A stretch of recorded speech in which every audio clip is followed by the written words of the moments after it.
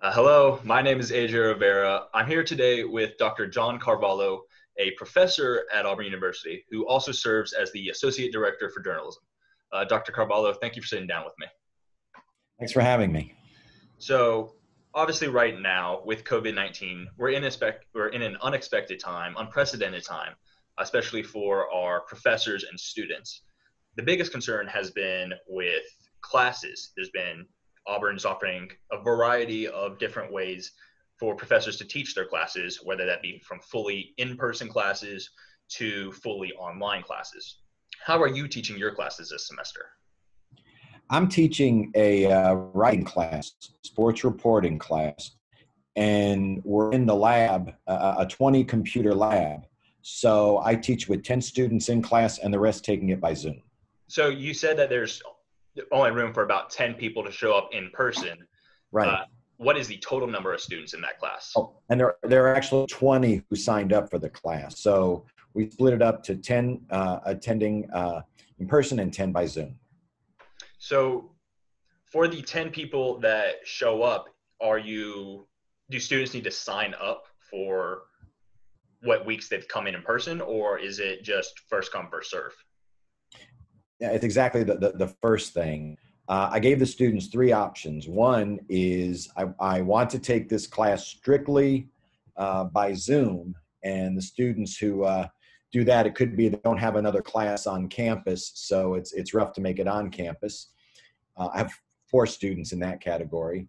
Uh, students who want to come on a specific day, and then students who want to come may on a specific day, but will come if there's room. And so every day I just kind of uh, kind of rotate them through and create a list of 10 students who will show up to the next class.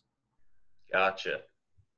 So what factors went into your decision for teaching your class this way?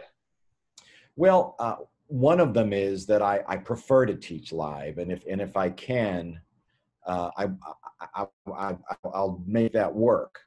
Um, I know that they've set certain limits, like uh, lecture classes of 50 or above. You don't have that decision. It's, it's made for you. It's going to go Zoom. So, and, and teaching a writing course, so much of it is guided practice that I want to have as much time with my students as possible. Gotcha. So, with you being the associate director for the journalism department, what exactly does your job entail for that? Because I, uh, for a lot of our viewers, they may not know what an associate director does. Well, uh, the School of Communication and Journalism has four programs communication, journalism, uh, public relations, and media studies with an additional visual track.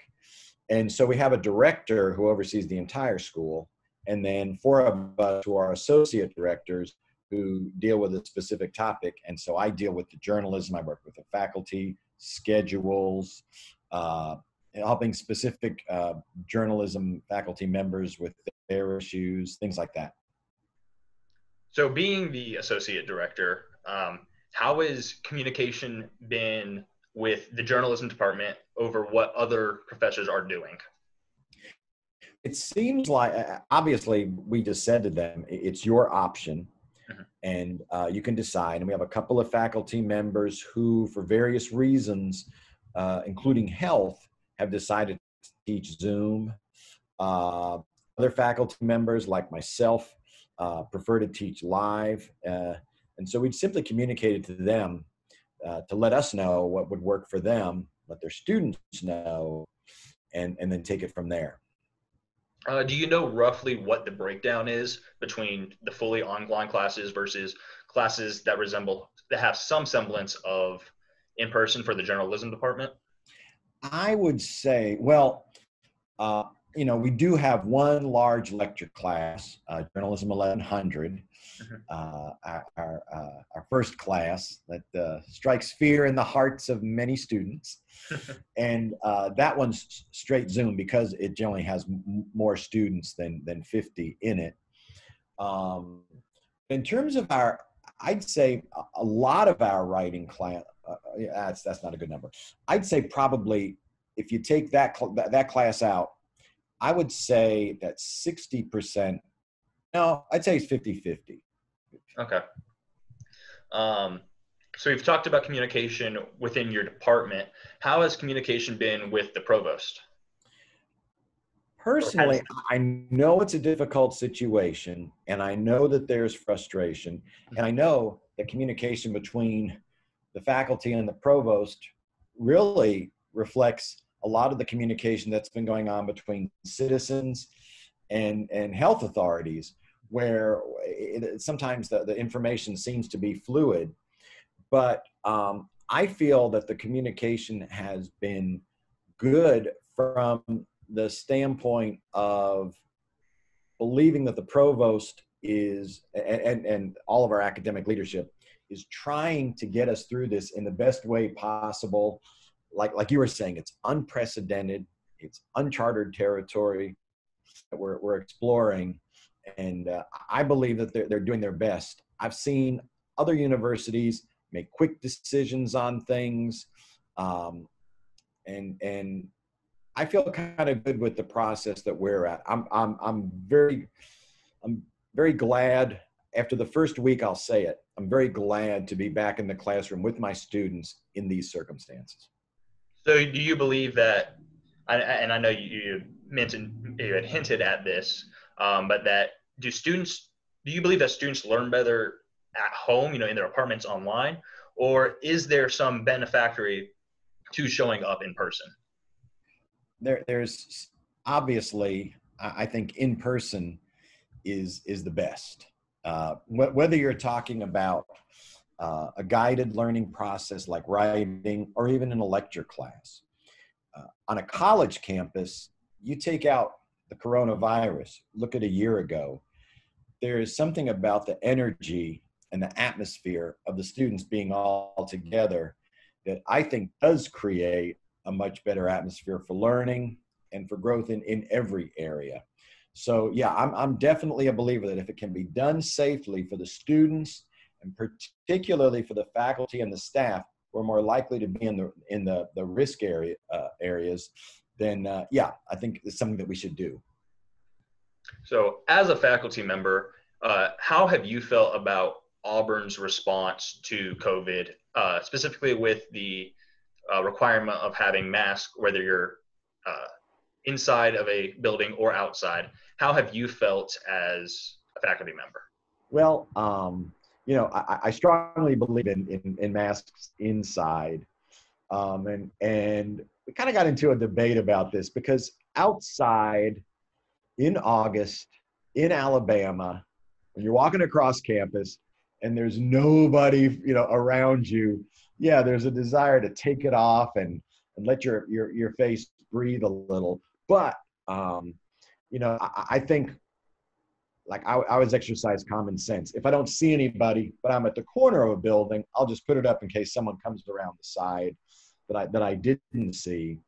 Um, I understand the seriousness of it, and I understand. I mean, you're talking about an old faculty member walking across campus. I understand that students outside tend to cluster, tend to see friends and talk to them. That needs to be addressed differently um, so yeah, I definitely understand the philosophy behind it. And um, uh, when I talk about slipping it off my face when when there's nobody around, that's not meant to say that I don't think it's necessary. What are your observations on how the first week has ran?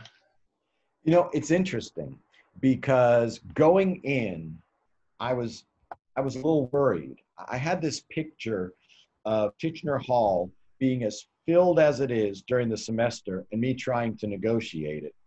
What's happened in practice is um, at my 11 o'clock class, there's only one other class that is actually meeting. Uh, and it's next door. It's Dr. Chon's, uh, it's PR research class. So the one thing, I don't know if you've noticed this, the buildings are pretty empty. So after a week, because of that, and this that that's obviously regrettable, I feel a lot safer than I did. I thought I was going to have to hide out in my room while the clusters of students are moving, but like we, um, our lab is on the second floor of Tichenor with Tichenor 215, like I mentioned, the large lecture class that had only large lectures in it. It's pretty much empty now. So those classes aren't meeting. some classes are meeting downstairs. So my observation is because of the Zoom classes that are meeting, the traffic is so low uh, around campus and in the buildings, at least in Tichenor, from my experience, that I think it's a lot safer than I than I was afraid it was going to be. Do you believe that Auburn University is going to remain open throughout the course of the semester? You know, it's interesting because so many universities are making different decisions. What was it? Uh, UNC closed down for two weeks. Mm-hmm. Other universities were going totally virtual. And Auburn decided to uh, bring the students in and offer a variety of courses. Uh, at this point, I understand there's a lot of controversy with students clustering at downtown bars and everything. But at this point, from what I've seen right now, I hope that Auburn rides it out. I hope that Auburn keeps things the way they are. Um, obviously, student infections, uh, I'm sorry, yeah, student infections may go up, meaning quarantines, things like that.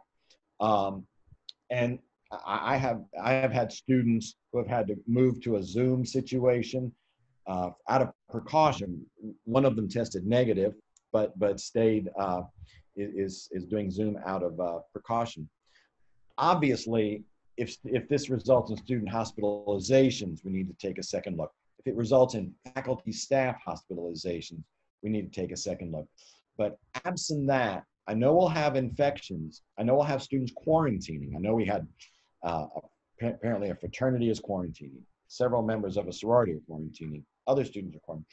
If we can get through with that, I do hope that they write it out and that we maybe see a migration back to campus of individual classes where as the situation improves, they can then return to that mode and not have that disruption of going totally online um, unless uh, health and safety dictate it. I do believe that's all of the questions that I have for you. I uh, thank you for sitting down with me. Thank you, AJ.